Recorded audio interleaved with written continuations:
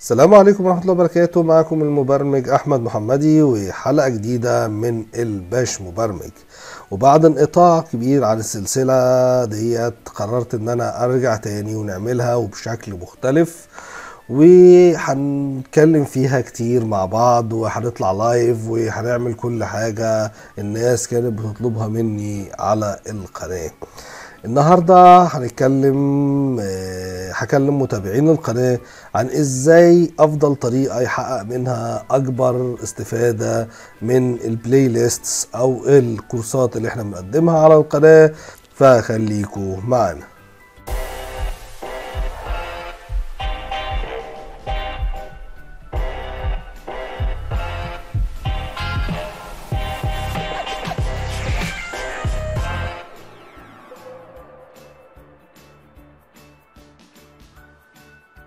بداية الناس اللي متابعيني آه، أفضل طريقة إنك أنت تعرف بيها الكورسات اللي على القناة مش إنك تشوف ال videos أو إيه الفيديوهات اللي بتنزل ورا بعض إيه لا أفضل طريقة إنك تخش على القائمة بتاعة ال playlist لأن دي فيها كل الكورسات اللي نزلناها على القناة من ساعة ما إيه ابتدينا.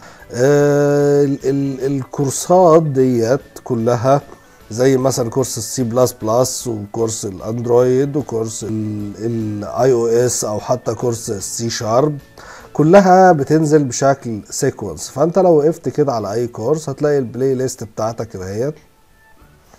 ال playlist بتاعتك ديت هتلاقيها يعني الفيديوهات مترقمة فيها. من أول فيديو نزل لحد آخر فيديو نزل في ال playlist ديت ساعات بنزل فيديو بيبقى خارج ال playlist بس ده ده يعني بتبقى خطأ مني. ساعتها أنا بحسن بصلح الغلط دوت زي مثلا في فيديو كنت نزل مؤخرا آه، خاص بال Unity ونزل بره ال playlist ديت. ماشي؟ لكن أنا بعد كده خدت بالي من الخطأ دوت وصلحته وأضفته في ال playlist ديت. فانت افضل حاجة لو انت بتتابع كورس انك تتابعه عبر إيه التابة بتاعه ال playlist ديت عبر القناة بتاعتنا. يعني انت مثلا متابع كورس Flutter ممكن تيجي هنا كده وتشوف كل الفيديوهات اللي نزلت وهتلاقيها مترقمه ترقيم يعني سليم من واحد وحتى إيه آخر فيديو نزل. وبكده تبقى انت معاك up to date على طول لإيه للفيديوهات بتاعتنا اللي بتنزل إيه على القناة. ماشي؟ أنا يعني ممكن انزل مثلا زي فيديو Firebase ده ما بنزلش منه فيديوهات كتير. ممكن انزل فيديو مثلا كل 3 4 اسابيع مثلا فلو انت تابعتها عن طريق التابة videos فانا اعتقد ان إيه انك مش هتقدر تشوف كل الفيديوهات وفي فيديوهات ممكن إيه تضيع منك. تاني حاجة تعالوا نرجع لل playlist. انت مثلا شفت آه، فيديو معين. وليكن مثلا آه، دوت ومثلا حسيت ان الكود فيه حاجة مش فاهمها ومحتاج تراجع الكود إيه بنفسك فعشان السؤال ده بتسألني كتير فين الأكواد؟ برغم إن أنا قايل إن أنا سايبها في description box تحت الفيديو.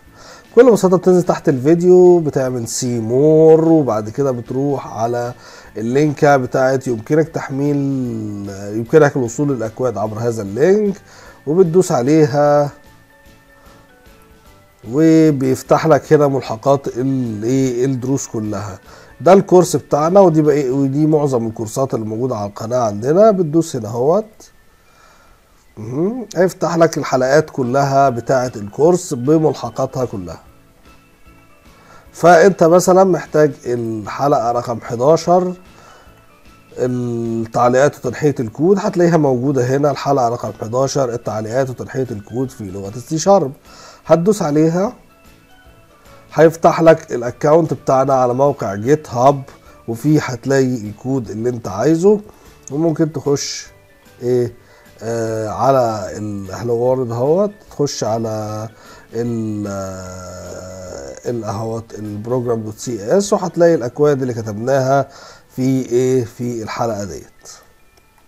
يعني الموضوع بسيط مش مش معقد بيتهيألي يعني لأن في ناس كتير بتشتكي إن هم ما بيعرفوش يوصلوا للأكواد يعني عبر الطريقة ديت. فأنا بشرحها مرة تانية أهوت. أنت بتقف على الحلقة اللي أنت عاوزها. بتروح لل.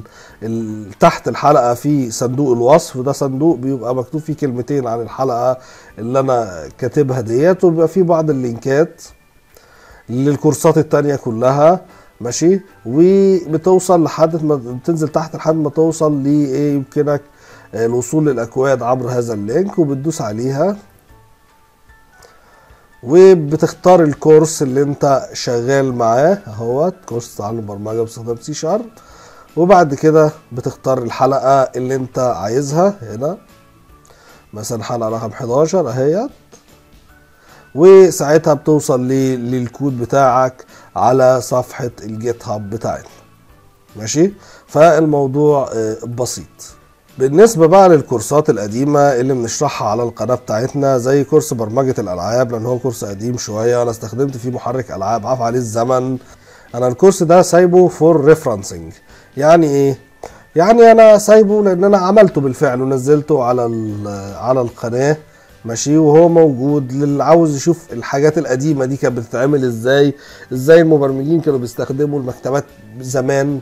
ما كانش فيها visualization زي Unity ما كانش فيها high graphic level زي Unity أو Unreal Engine يعني موجود. ممكن انت لو عاوز تتفرج عليه for referencing لكنه ما عادش خلاص من الحاجات إيه اللي بتستخدم دلوقتي في مجال برمجة الألعاب اللي هو ال SM ال SFML اللي أنا مستخدمه في الكورس دوت. كورس السي بلس بلس أنا استخدمت فيه أدوات قديمة لأن هو الكورس ده اتعمل سنة 2014 ماشي؟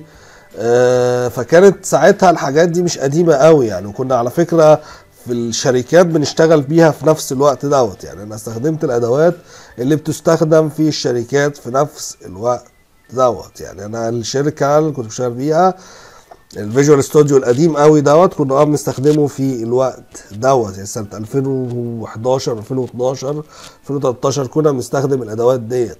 فأنا استخدمت نفس الأدوات اللي بنستخدمها في الوقت دوت. لكن حصل بعد كده تطوير كبير فالأدوات دي أصبحت قديمة. لكن أنت ممكن تاخد منها concept اللغة ذات نفسه لو أنت مهتم بدراسة السي بلس بلس فممكن تستخدم concept اللغة ذات نفسه. آه ناس بتقول لي مش عارفين ننزل ال Visual Studio 2012 أنا استخدمته في الكورس دوت. آه ممكن تستخدم ال Visual Studio 2020 يعني آه ما فيهاش مشكلة. هتلاقي شكله متغير إلى حد ما في features جديدة. بس صدقني آه يعني آه نفس ال materials تقريبا سي بلس بلس ما تحطش عليها حاجات زيادة كتير يعني. كورس برمجة تطبيقات ال Android كورس دوت يعني من بدايات برضو الكورسات اللي أنا عملتها في القناة. ويعني ال Android Studio شكله اتغير إلى حد ما من زمان لحد دلوقتي بس أنت هتلاقي فيه تشابه بين الحاجات بتاعت زمان لحد دلوقتي. من أهم الكورسات اللي عندي هنا في القناة اللي الناس بتهمله هو إنك أنت تتعلم جيت ايوان جيت جيت والكورج والفيرجن كنترول سيستمز هي من الحاجات المهمة جدا في مجال تعلم البرمجة. الفيرجن كنترول سيستم يعني تقريبا أنت لو بتشتغل شغل احترافي لازم تستخدمه مش بس عشان ترفع الشغل بتاعك في النهاية على جيت هاب في ناس فاكرين إن فعلا لازم تجيت إنك ترفع على جيت هاب لا ده بيعلمك إزاي تشتغل في فريق في team أغلب الناس المطورين مش ال individuals ماشي؟ بيشتغلوا في team الشركات لو انت مثلا هتحترف شغل البرمجة وتشتغل في شركة هتشتغل في team مش هتشتغل لوحدك. عشان تشتغل في team يبقى لازم الشركة ديت بتستخدم version control system فأنا بنصح كل الناس إنها تاخد ال course دوت. حتى لو في ناس استصعبته شوية بس صدقني تعليمك لأي لغة من لغات البرمجة المشروحة في القناة هنا هوت مش هيكتمل إلا إذا أخدت معاه course version control system إلى حد هذا أنا فخور جدا باللي إحنا باللي أنا قدمته على القناة لحد دلوقتي من فيديوهات. ماشي؟ وبحيي كل واحد اشترك معايا على القناة وكل واحد تابعني. و... والناس اللي هي بتبعت لي كلام جميل جدا جدا جدا. وفي ناس بتقول لي أنا اشتغلت وناس بتقول لي آه يعني ربنا يبارك لك وناس آه وناس عملوا لي عمرة. يعني آه، بغض النظر عن كل الكلام الجميل دوت فأنا يعني منتظر من الناس اللي حتى بتابع القناة وحابة طريقة الشرح اللي إحنا بنستخدمه في القناة إنها تقول لي المزيد من الاقتراحات وتكتب لي المزيد من التطلعات اللي أنتوا عايزينها. زي مثلا أنت نفسك تشوف course بيشرح إيه أو course مثلا C ال Flutter مثلا أو ال Python ناقصه إيه؟ آه، عاوزين شرح فيه إيه زيادة؟ أو مثلا أنت مش مقتنع مثلا ب course معين أو في مشاكل في course آه، معين أو ال course دوت ما كملش ليه؟ أو آه، أي سؤال أي سؤال ممكن أنتظره منكم في ال comments box تحت الفيديو. ويا ريت الناس ما تنساش تعمل subscribe للقناة وتعلم على علامة الجرس عشان يوصلها الجديد أول بأول من القناة بتاعتنا بمجرد ما نرفع الفيديو على إيه اليوتيوب. آه، في النهاية بتمنى للجميع التوفيق. كان معكم لا استنوا. أهلا بيكم متابعين قناة زكوت فازر وأحب أحيي كل متابعين القناة على ثقتهم الغالية في المحتوى اللي بنقدمه على القناة.